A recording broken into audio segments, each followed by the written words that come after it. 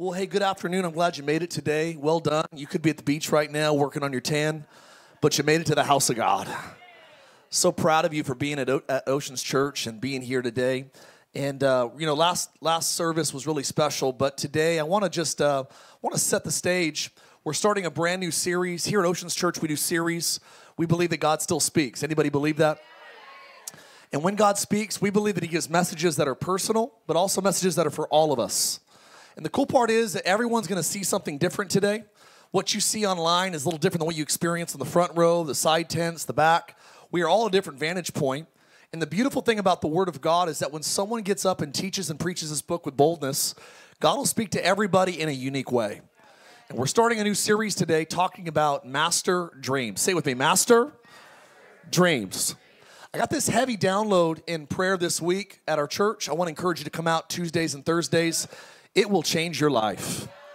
We have pastors that come to our church that lead churches, and they're like, I didn't really know how to pray, like corporately, until I came to this church's prayer meetings.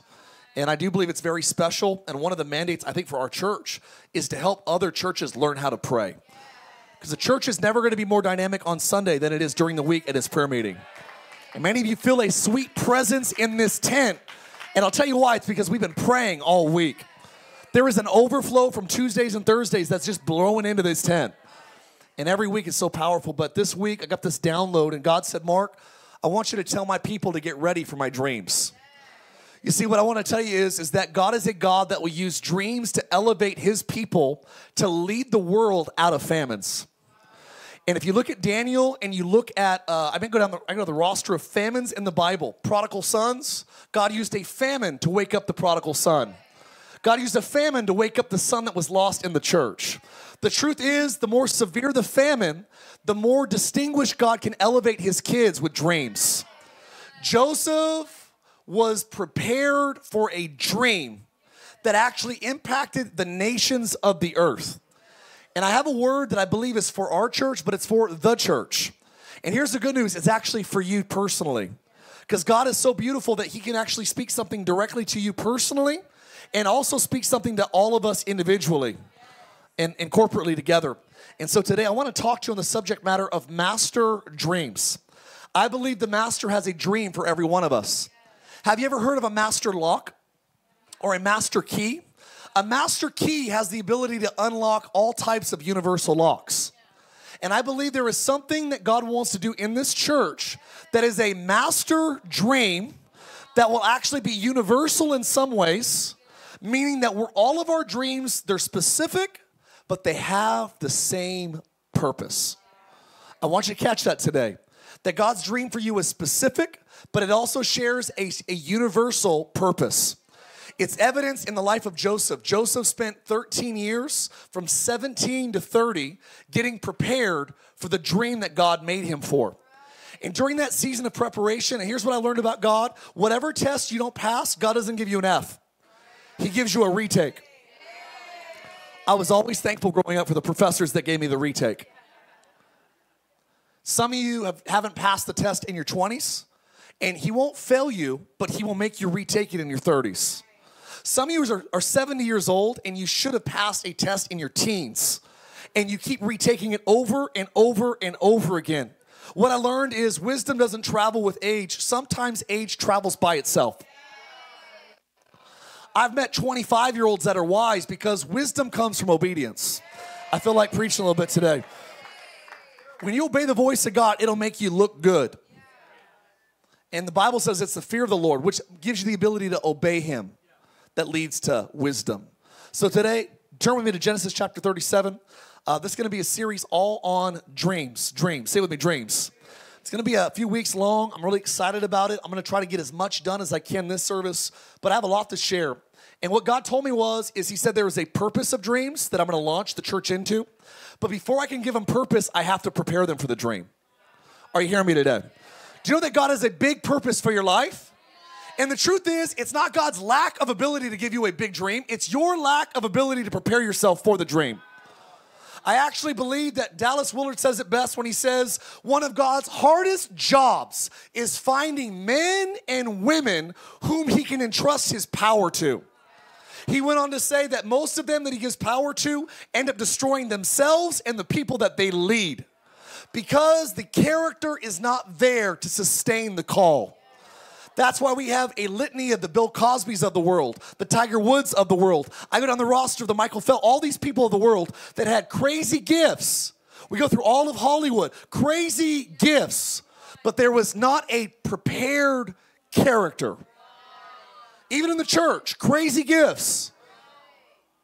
And I want to tell you today that I want to deal with this because I do believe that God says if there is a church committed to developing and preparing character, I will bring a dream that will change nations. I'll say amen to myself because I believe it. Genesis chapter 37. You guys ready to go?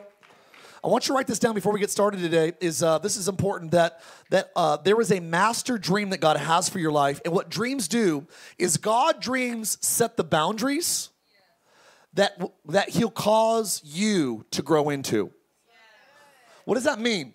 God will give you a dream that'll set the boundaries of what he'll let you or me or this church or this state grow into. You know, everybody thinks that something's crazy when someone dreams it, but when they get it done, they go, wow, we didn't think that was possible. You've all heard the story of Walt Disney when Disney World was actually opened. And, and, and Walt wasn't there at Disney World when it opened, and his wife was being interviewed. And one of the engineers said, Don't you wish Walt Disney was here to see this? In her response, Mrs. Disney said, He did see it, that's why it's here. The Bible says that without vision, without dreams, men perish. And I'll tell you right now, the world is not in chaos because it's it's in chaos. I believe chaos is a result of men and women not having vision or dreams from God. Does that make sense? I believe Joseph's gift was diligence. He could bring order out of chaos.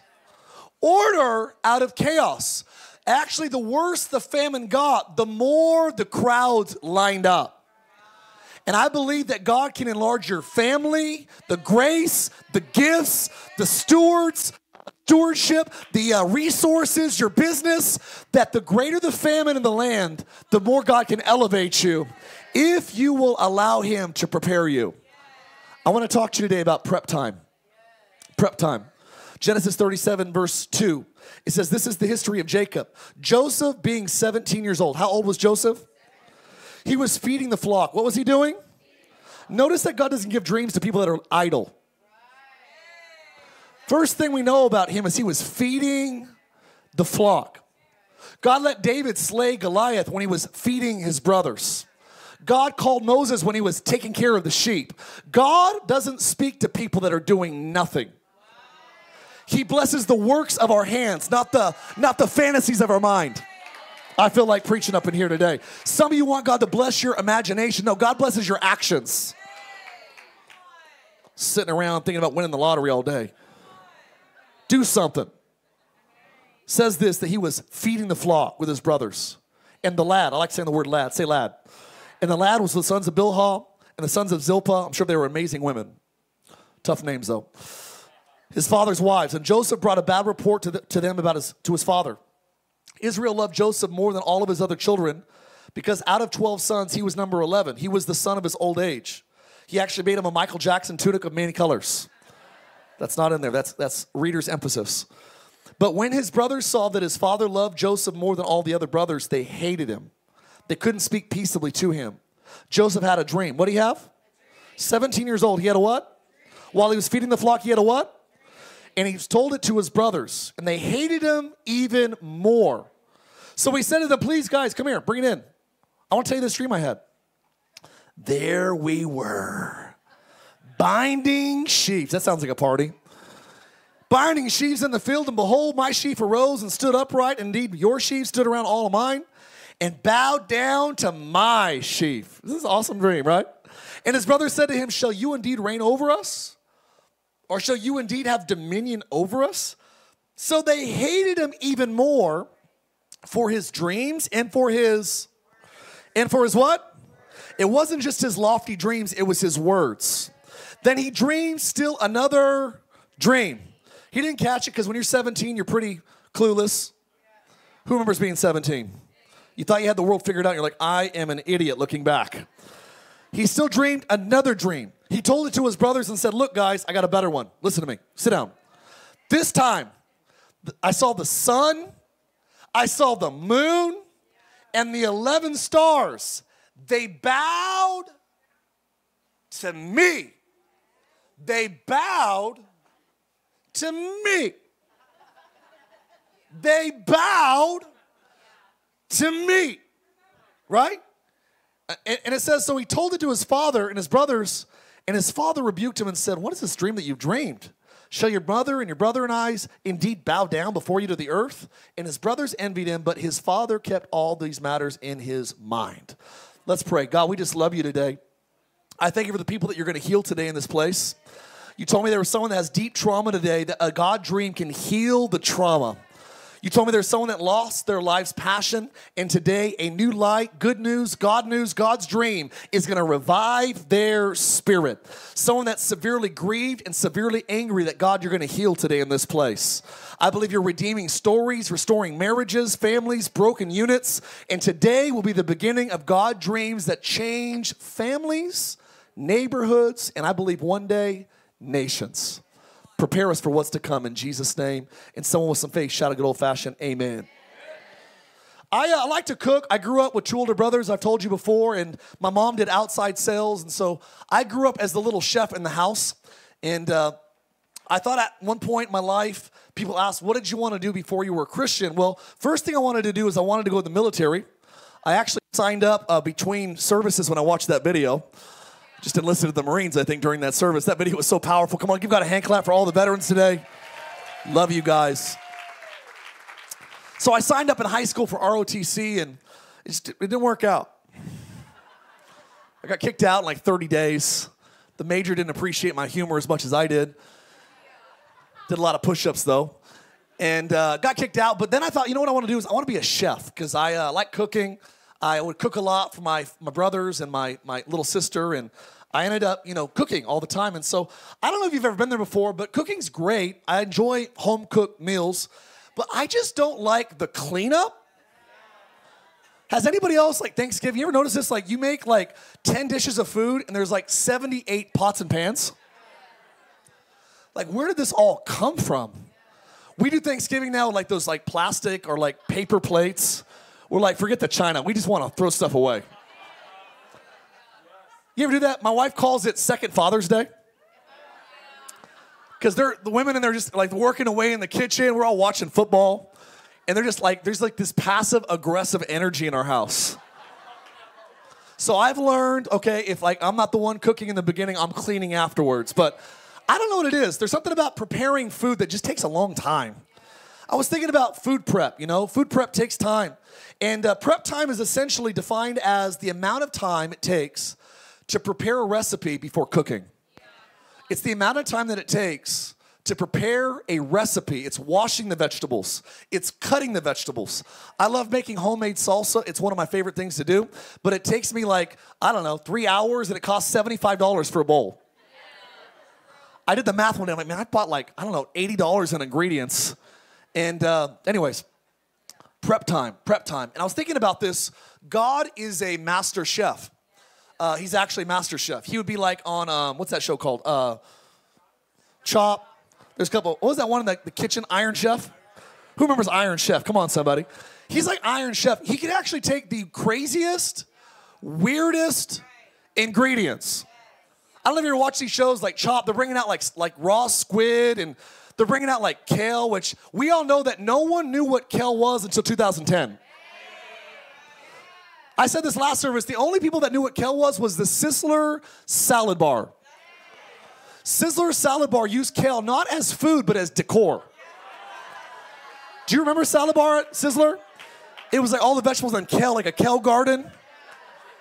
Who remember, who remember Sizzler? Anybody remember Sizzler?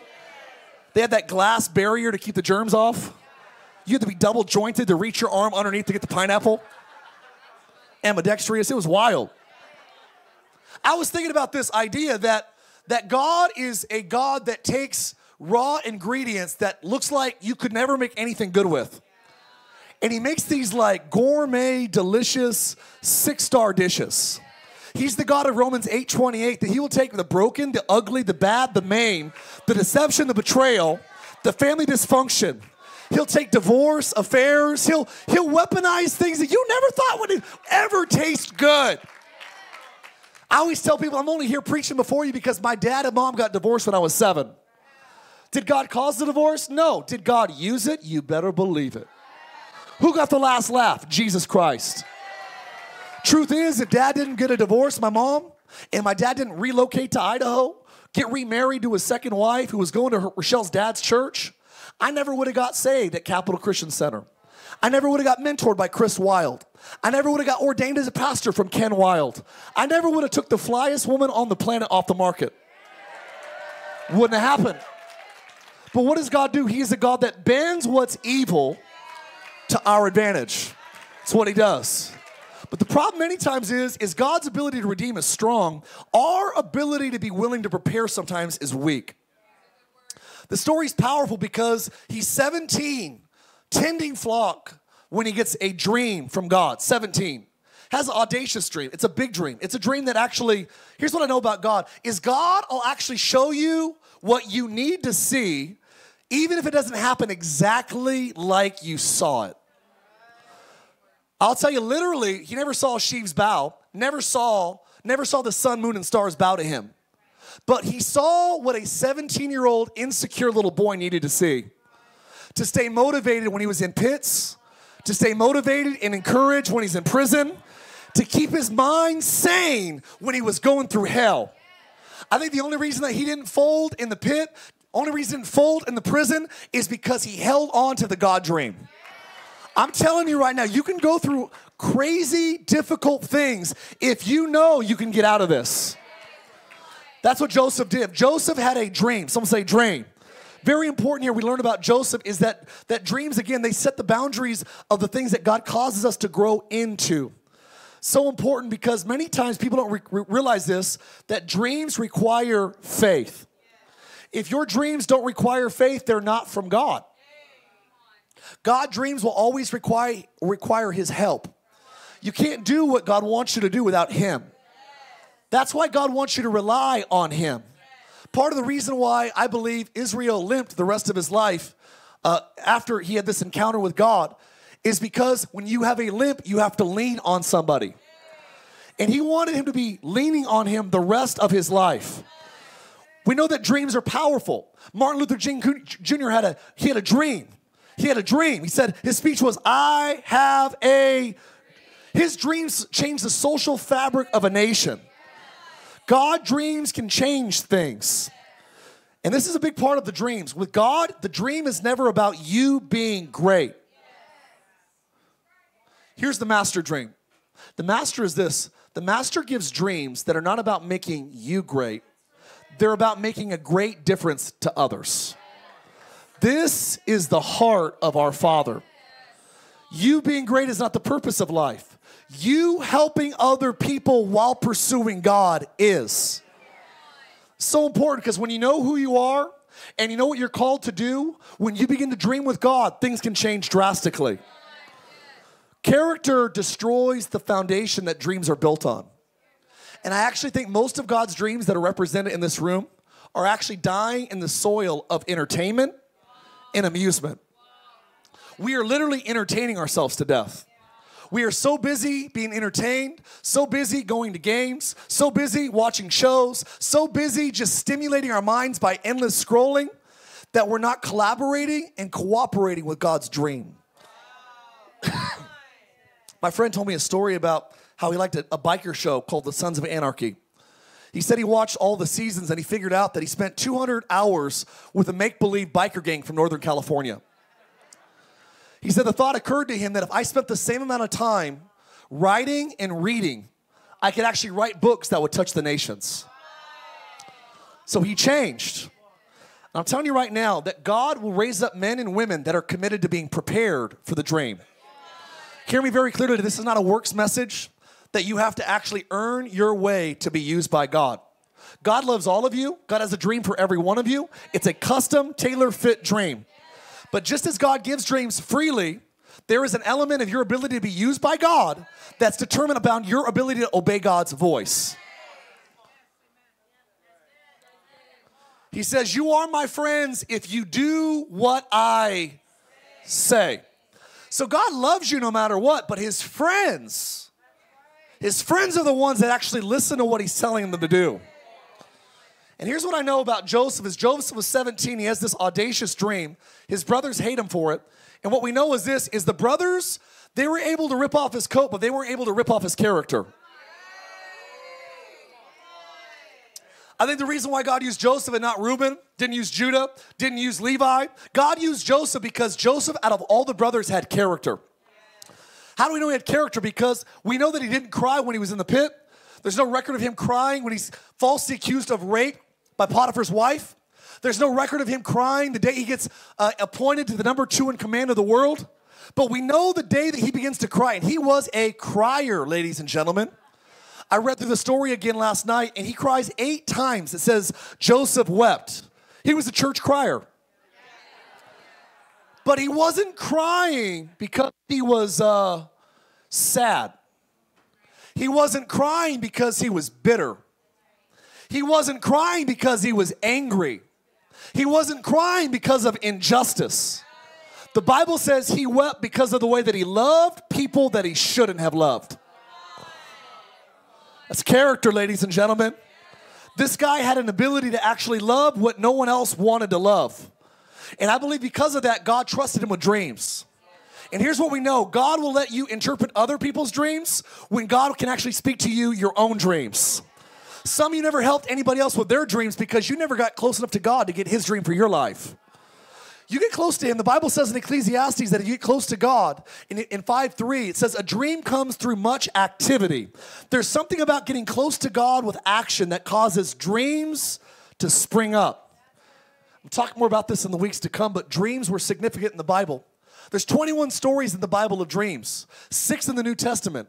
Joseph, Jesus' stepfather, got three dreams. The wise men got a dream to return a different way.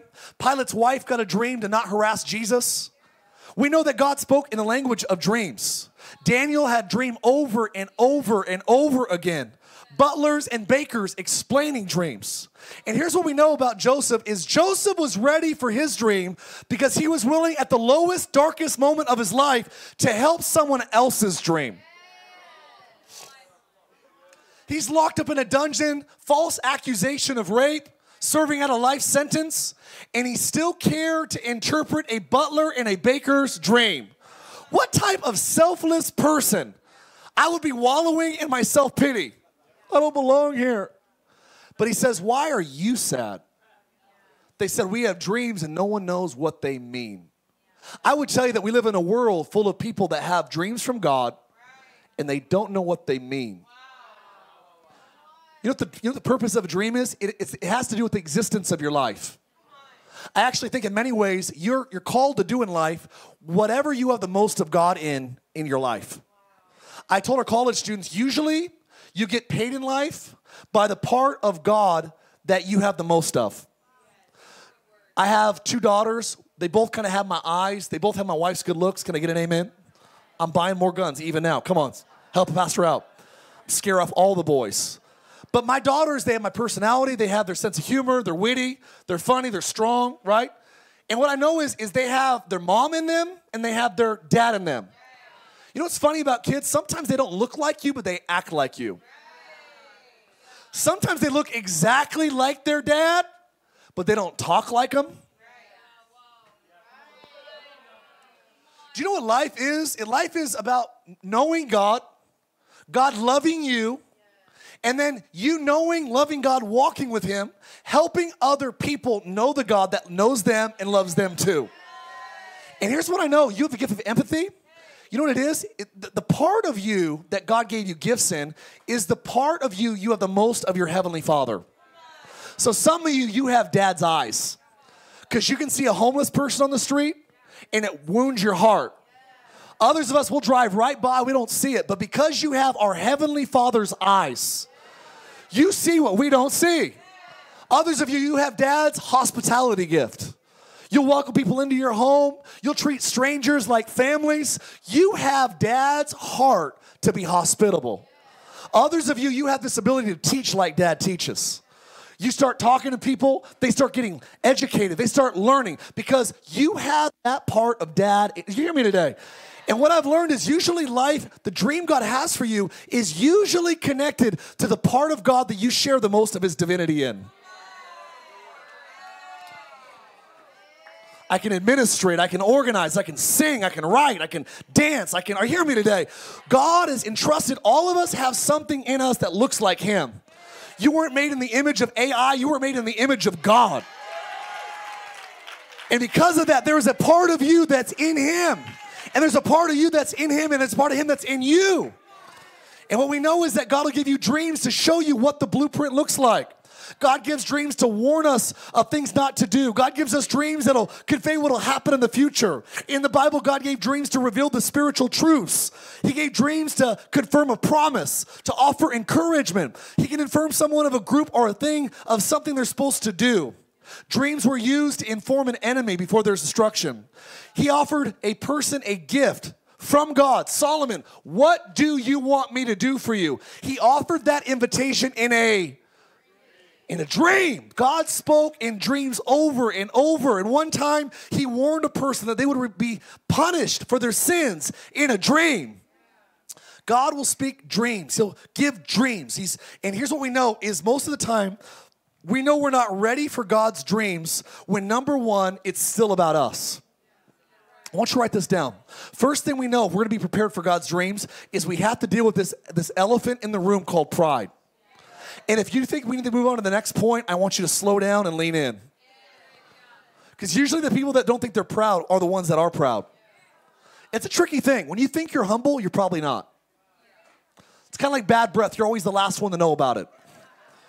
I've learned this that Joseph, he went through a test at 17, didn't graduate till he was 30, which FYI, there's actually, I think he should have been 28. But when he had the butler and the baker, and he interpreted their dreams. The one mistake that he made was that after he interpreted the butler's and the baker's dream, he actually did one more thing that he tried to self promote himself. I actually believe if he just would have interpreted the dreams, I think that God would have called him out of that dungeon right away. But if you read the verse, it says that he told the butler, "Hey, um, when you get back in the, into the White House, tell the president about me. Tell him I'm innocent. Tell him I'm a good man. God did not need the butler's help to locate where an unjust man was being trapped. God knew exactly where to help him out. And the problem in our society is we like to self promote ourselves. We like to sponsor our own post. We like to retweet our own, our own sentences. Uh, one of my mentors said that retweeting yourself is like high fiving yourself in public. Come on. I know it's a part of the way that the world works today. But I actually I grew up in an era of time that you didn't invite yourselves to speak at conferences. You didn't call people and say, "Can I speak at your church?" In my day, when you were growing up, God had to open up the doors. I never invited myself to speak anywhere in the earth. And I've been to Australia 16 or 17 times. I've spoken at hundreds of churches all over the world, and it was never, hey, can you uh, have you seen my my material, my media packet that I've been promoting? I'm telling you that God knows where to find you when you're ready. Some of you aren't ready yet, and that's why God's not elevating you yet. God knows exactly where to find you when you're ready. But the problem is, you're not ready when there's still pride that's on the throne. You know you're arrogant when you have to vocalize everything. Pastor, I got to tell you about my ministry. No, you don't. God will show me when it's right timing.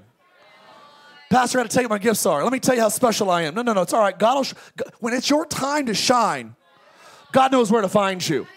We got too many people pushing their own business cards in the church. God knows where to find you, how to bless you. One of my one of my friends, he's uh, one of Reinhard Bonnke's spiritual sons, and he told Reinhard Bonnke, he said, Reinhard, I've been traveling with you the last 10 years. He goes, I don't have any connections in ministry he said, You're telling me to go out and start my own evangelistic crusade? He goes, I don't have any donors. I don't have any friends that are pastors. I don't know anybody. And Reinhard Bonnke looked at him and he said, You know God. And if you know God, you have access to anything else in this world. I don't need someone to endorse me if God endorses me. Come on, can I get a good amen up in this place? I feel like preaching. Truth is, is there is pride in all of us. And I want you to this is not just for some people. You were born in a fallen condition called proud. We were born because of one Adam, his sin. One man's sin caused all to be born under condemnation. Romans chapter 5, you read the story. But through one man, his obedience, all of us have been pardoned of that condemnation. We know that we serve a God that actually is rich in mercy. But the truth is, is God will root out in our in our character pride. Pride is rooted in insecurity. If pride is in your heart, insecurity is in your soul. And here's what we know about insecurity being in your soul. Insecurity is a liability with God dreams. Because insecure leaders will try to bring the praise that belongs to God to themselves. Insecure people have to tell everybody when it was their idea.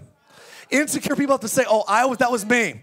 That organization thing, that was me. I wrote that song. I wrote that sermon. Oh, that was me. I was the one that put that project together. I was the reason why this went well today. Proud people always have to tell. And here's another fruit of being proud if you interrupt people all the time, it's because you think what you have to say is more important than what they're saying. It's gonna get quiet up in the Presbyterian church for a second. But I've learned this that the most the most misquoted scripture, maybe in the Bible, is Proverbs 16, 18. Everyone always says, pride leads before the fall. And it doesn't read like that. It says pride goes before destruction. It says it's a haughty spirit that goes before a fall. The Bible says in James 4 6 that God resists the proud. You know what the word resist means? We always think of it as a negative thing. I want you to think about it as a, you as a parent going, I'm not giving you the keys, I'm resisting you from driving until I know you're not going to hurt anybody or yourself.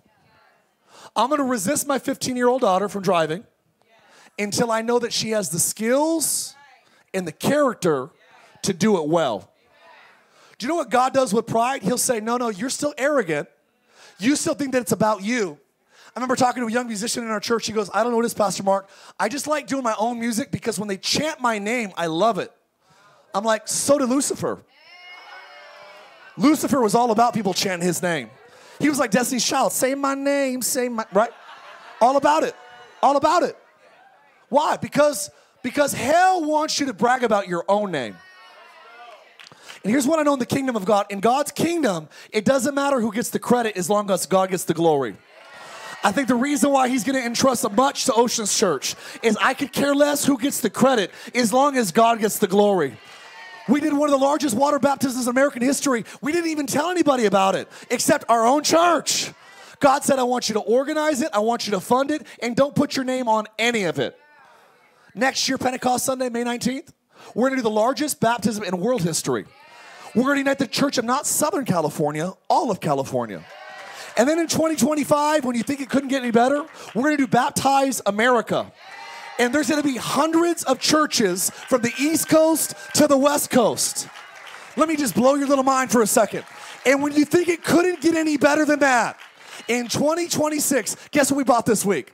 We bought the domain to baptize Europe, baptize Africa, baptize South America. Believe it or not, I got the domain to baptize the earth. Because I just thought, man, this ball gets rolling. Who knows where it stops? Eye hasn't seen, ear hasn't heard. What God has in store for those that love Him. The problem why most of us can't be using is we want our name on everything.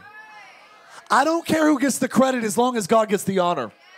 And the reason why God's gonna raise up some, some, some people here is because I could care less who gets the credit. I was meeting with a business guy this week. Go say, look, I want to sponsor college students. I want to sponsor this marriage conference coming up. I want to sponsor this. I want to sponsor that. It's just do one favor, Pastor Mark. I don't want anyone to know about it. And I'm like, that smells like dad. Dad's like that. Dad's a guy that's like, I'll do it in secret and I'll let God reward me. God's my rewarder. We live in a generation that's the opposite. We want to be seen doing good, and we don't do anything good behind the scenes. Get quiet up in here. I'm going to keep preaching like I feel it though today. Here's what I learned about insecurity. If you remember that you're a child of God, it kills insecurity. Most of you are insecure because you don't realize that God made you, God loves you, God made you the way that you are. And He'll actually He'll cause you to be born again into His nature. And when you're born into His nature, here's the good news: you are a child of God. You know, my daughters have security in. They have security in this idea that I'm both of their dads, and I love both of my daughters. And there's no insecurity like, well, Kenzie's more of a Francey than Chloe is. No, they're both my girls. And some of you are insecure because you don't realize you're God's kid. So, what kills insecurity is your identity as a child of God. Here's the other side of the coin. What kills pride? Here's what kills pride never forgetting where God found you. Some of you are so braggadocious. Well, I've, I've gone to seminary and I know the I speak Greek and Hebrew and I'm very smart and I'm educated and I got I got a big house and a beautiful wife. I'm just I've, I've made it. And you don't realize that God is the one that gave you your brain. God gave you you got a good family. Who gave you the family? Well, I had a terrible family, but I made my way out of it. Who gave you the persistence? Who gave you the mental fortitude not to give up? Well, I wasn't living for God. Well, He still made you the way that you are.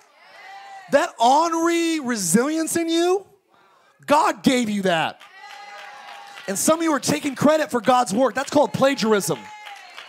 And no one likes a plagiarizer. That's what Romans talks about. Romans says that the world denies God and they see Him everywhere in existence. When you see the goodness of God in your life and you don't acknowledge that He's real, you're plagiarizing God. Sorry, I'm fired up today. Many people don't realize that it is insecurity that is robbing you, and that's what's creating pride in your life. We get rid of insecurity when we surrender. We say, God, I am your child, so I can be secure.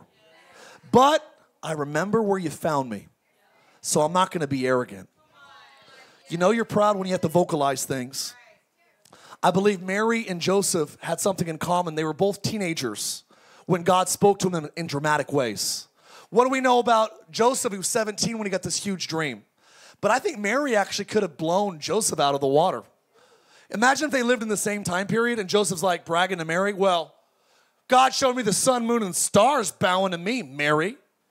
And Mary goes, I birthed God. That's a one up line right there. Now, listen, what we know about Mary, I think the reason why God elevated Mary, some come on the keys, almost finished, is that Mary actually, it says in Luke 2.19, that she, look, she had wise men give her gold. Scholars say that it wasn't just the, the ministry of women that supported Jesus when he traveled the world for three years. They said it was Mary stewarding the gold that the wise man brought when he was a little kid. We know that Mary at her in a delivery room had shepherds bumping in there, going, angels, heavenly choirs told us to come in here and said the Messiah was born. Mary knew she was raising God. But you know what Mary didn't do? She didn't brag about it. Come on in, guys. Come on in. I'll tell you a story. So I birthed the Lord. I mean, I'm not, his words, not mine. I raised him. Kind of made him this perfect kid, you know? I've been raising the perfect kid last 33 years. Not a big deal, but you know, I was his mom. You know, we don't read everywhere, anywhere in Scripture about Mary is arrogance. And I think the reason why God put one down, Joseph, at 17, and said, I'm going to put you through the university of character. And if you can overcome pride, I can trust you with more. You know, one of the things that gets, gets, gets rid of pride, number two, it's the pit test. It's when you go through, because uh, truth is, in life sometimes, Pits are, it says in, in Genesis chapter 37, verse 24, that the pit was empty and there was no water there. The pit is what his family put him in. Some of you were betrayed by your family. You were betrayed by brothers, sisters, mothers, siblings. And the truth is, you've been betrayed and you're in an empty, no food, no water, dry place. It's a pit. Forrest Gump says pit happens sometimes, right? And when you're in pit, in a pit season that you don't want to be in, I actually think in the beginning of that pit, Joseph probably complained to God and said, God, my family's so screwed up. It's their fault. I bet you at the beginning that pit, he goes, It's their fault I'm in this pit. How dare them for being so jealous of me? But I think somewhere along the way, maybe after a few hours, I think he probably got on his knees and goes, God, maybe there's something in me that was arrogant. They didn't just hate me because of my dreams, they hated me because of my. It was the arrogance of my words that pushed my family away. The good news is God can use terrible things. The devil's so bad, though, so satanic. We know that his brothers were so engrossed in this sin plot that his dad believed that his son was dead for 22 years. You know what they did? They fabricated the scene of the crime. They took his coat of many colors. They got some goat blood, put it on the jacket. They came home. They didn't even say th- that your son's dead. They brought false evidence. And they said this Is this your son's coat? They never said he was dead. They actually suggested a lie that was believed for 22 years. And I feel like today, some of you have been believing a lie for 10 years, two years, five years, maybe it's 22 years, that something's dead that God can revive. Maybe it's not dead at all. Maybe you just don't have, you haven't had a restor- rest- restorative moment yet. I'm telling you, there is a God in heaven that raises dead things. I can't imagine how sadistic the brothers had to be to listen to their father cry in the other room of the house for 22 years. That's what sin will do. Sin will make you stay committed to something that hurts everybody else because your heart is calloused. And I believe that God will use the pits of your life to remind you that God, I don't want any pride in my heart. I actually personally believe it was when Joseph surrendered his pride that he got out of that pit. He got out of it. I'm going to talk more about next week what happened after he got out of that pit. But for the sake of time, I want to point your attention to this idea today that it says in chapter 37, verse 22, that Reuben, someone say it with me, Reuben. Reuben was the firstborn of the family. Someone say it again, Reuben. Reuben told his brothers that day, shed no blood. Don't kill Joseph. Just cast him into this pit. Cast him in the pit in the wilderness and do not lay a hand on him. Watch what he says that he, Reuben, might deliver him, firstborn, out of their hands and bring him back to his father. I want you to catch this today in your heart. Reuben, I believe, was the firstborn. And in this context, he's a Christophany of what it is, to, what Jesus would do for us. You know, Jesus, he's the firstborn, Colossians says, of all creation. And you know what Jesus does for all of us when it pertains to life and dreams? He's the one like Reuben that says, uh, I'm going to get you out of the pit and I want to bring you back to the Father. Do you know what your dream's supposed to do? It's supposed to allow God to get you out of the pit and bring you back to the Father. Let me take it a step further. God wants to raise you up to get other people out of their pits and bring them back to the Father. Why does God want to bless your marriage? Because there's people that are in pits in their marriages right now, and you can't get them out of their pit until you let God get you out of your pit. Bring them back to the Father. We're struggling financially. You can't get someone else out of their pit if you're in your own pit. You can't help people if you're in the same hole they're in. You one of those prosperity preachers? No, I I believe that that listen, the problem with prosperity is this is we've seen extremes of it, and we go, well, if I name it, claim it, and I blab it and grab it, and if I sow money to this this tele televangelist, they're gonna give me some oil from Israel, and I'm gonna get a jet and a Rolls Royce in 24 hours. We've seen such ridiculous extreme that we've made an equal mistake of saying that God doesn't take care of his kids. But the Bible is clear on this that if you were to boil Christianity down, it's a Genesis 37, verse 24 moment that God wants to use you to help others get out of their pit and bring them back to the Father. That's my friend Ross has been doing. He's been bringing people out of the pit and bringing them back to the Father. Some of you, you haven't been dreaming with God because you're not living your life or your vocation to get out of the pit and go to the Father. Some of you love your pits too much. I've kind of got used to my pit. Some of you are naming your pits. This is just the pit of my eating disorder. This is my pornography pit. This is just my, you know, this is my low conviction pit. This is my alco- alcoholism pit. Look, I, I love the Father, but I just want to hang out in the pit a little longer. And you'll never help others get out of their pit until you let God get you out of your pit. So important today. He wanted to deliver his younger brother and bring him back to the Father.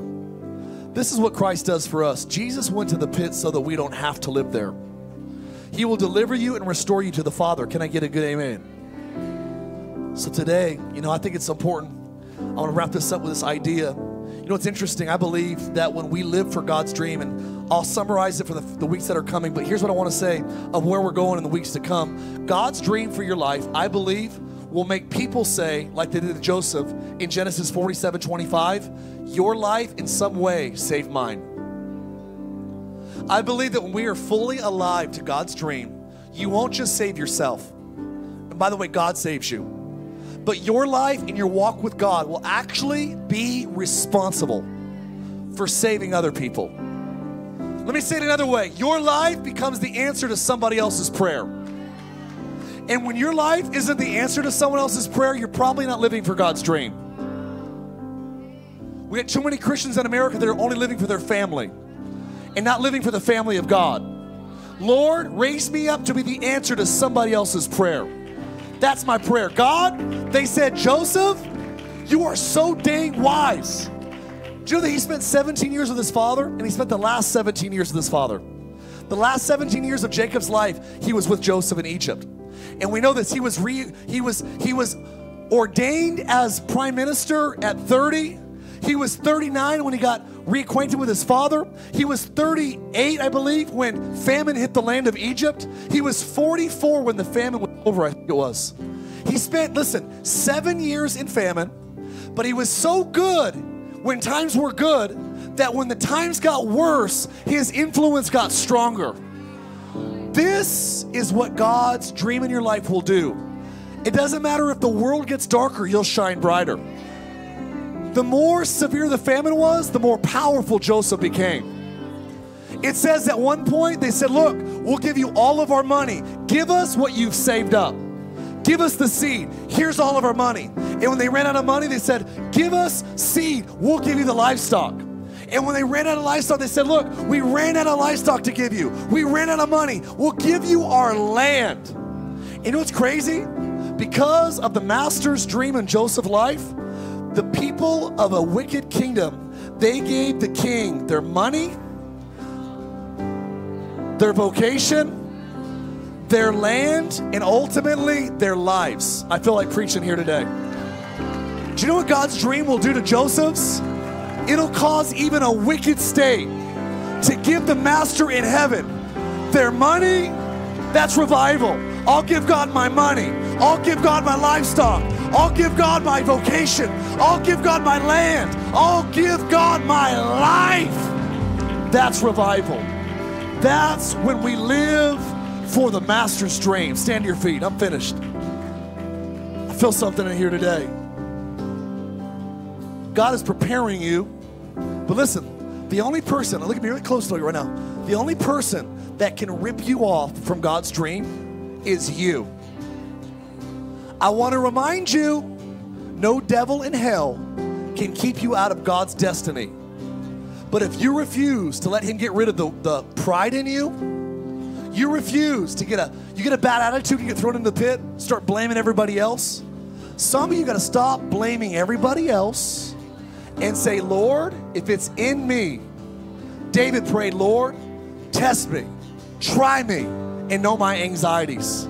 See if there be any wicked way in me. This is his prayer. And lead me in the way of everlasting. That's what we're going to do here today. Amen. So grab your, grab your neighbor's sweaty hand real quick. We're family here today. Grab that sweaty thing. I want you to pray for your neighbor on your left and on your right. Just pray this prayer. Say, Jesus, today, We're asking, make us, make them ready for your dreams that can change nations. Lord, today, let their life be evidence that God speaks, that God lives. Let it be said of them, like Joseph, we can't find anybody better than them that has the Spirit of God living inside of them. I pray that their friends, family, employees, and bosses would know that they're all blessed because of them. That's what Joseph did. So bless them now with your dreams, your visions and hear me, Oceans Church, I feel like God is going to make us a dreaming church. Some of you, you're going to dream about businesses. You can let go of their hand. You're going to dream about marriages. There's ministries that are going to be birthed. But listen, this is a Joseph Master Dreamer Church. Maryland, there is dreams. And I just hear the Lord saying that you're never too old to dream with God. You know, it says of the day of Pentecost that the young man will see visions and the old man They'll dream dreams.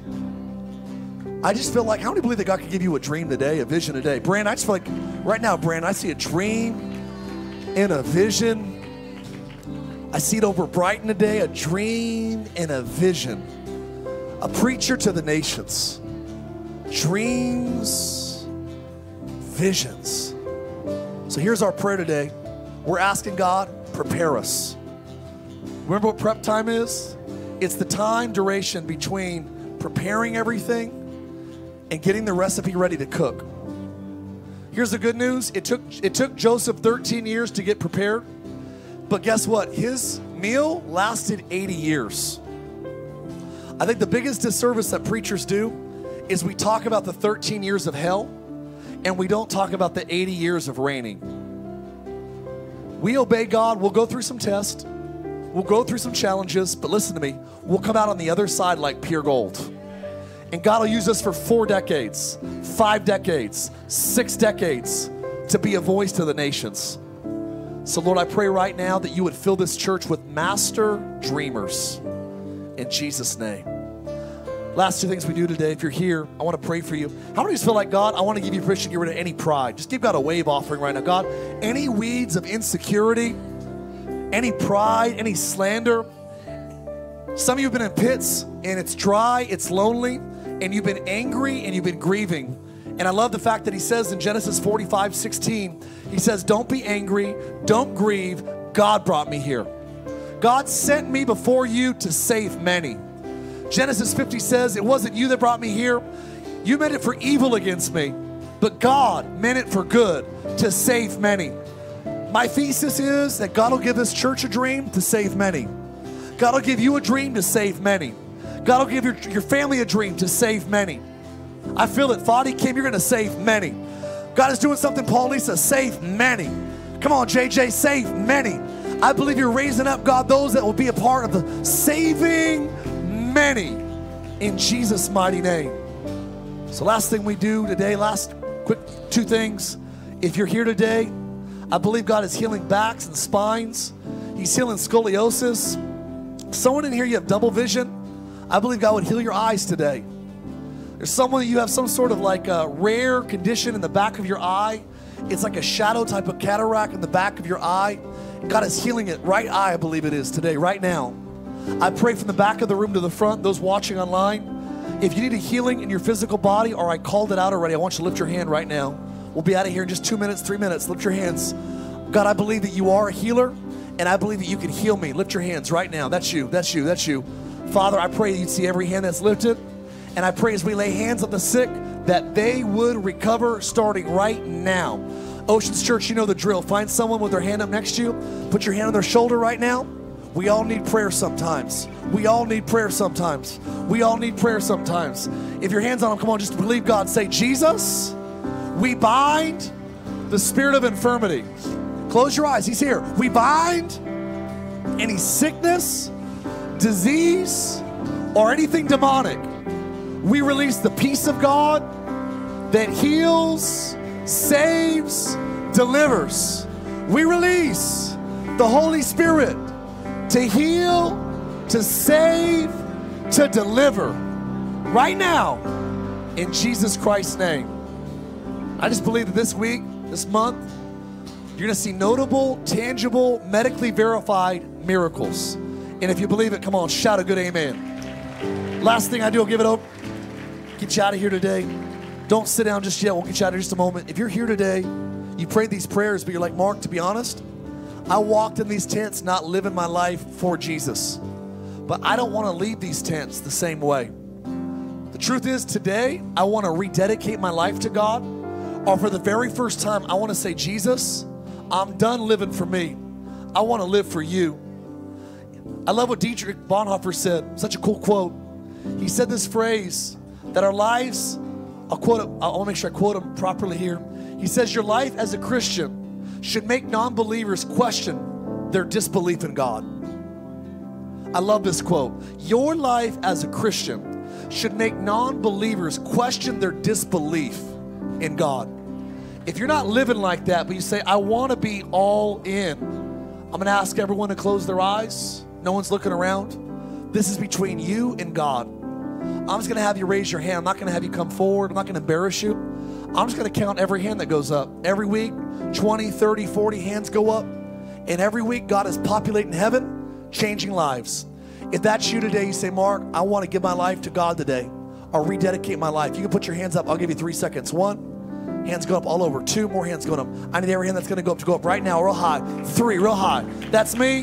One, two, keep it up. Four, three, five, six, seven, real high, 8, 9, 10, 11, real high, 12, 13, 14, 15, 16, 17, 18, yeah, real high, 19, 20, 21, 22, real high, 23, real high, 24, real high. I see in the back back, 25, awesome. Man, at least 20, might be 27, at least 25, maybe 27, 28. That's I can see. If you're online, write heart, H E A R T. Here's what I know. Listen to me. Everyone look at me. Your dad made you with a dream in mind. You're not an accident. My parents said I was an accident. You might have surprised mom and dad. But I promise you, God has never met an accident. Let me say one more thing God has never met someone he didn't love. And he's here right now. Just close your eyes. We're going to pray those 27, 28, 30 people, man, there's a lot of people today. If you didn't raise your hand, you're supposed to. There's three more of you. I didn't raise my hand, but I was supposed to. I was too scared to raise my hand. Everyone's eyes are closed right now. You missed the bus the first time, but you're like, I might have a heart attack because my heart is beating out of my chest. God is saying, don't miss the bus. Raise it right now. I'll give, you, I'll give you a second chance. I didn't raise it, but I was supposed to. There's one. Thank you. I didn't raise it, but I was supposed to. Real high. There's two. Thank you, my friend. Thank you, my friend. There's one more, I think. One more, one more, one more. Three. Thank you. I see in the back. Awesome. That's 30. All right. Pray this prayer, Ocean. Say, Jesus, I invite you right now into my life. Would you forgive me all of my mistakes? I give you my guilt. I give you my shame. I give you my insecurity and even my pride. Fill me with your Holy Spirit. Guide my life Give me a love for your word, your kingdom, and a desire to pray. Last couple things. Say, Lord, I ask you for a church and for friends that know you better than I do. In Jesus Christ's name, my life is yours. And someone that's fired up said a good old fashioned amen. I'm excited for this series. It's going to be an awesome week.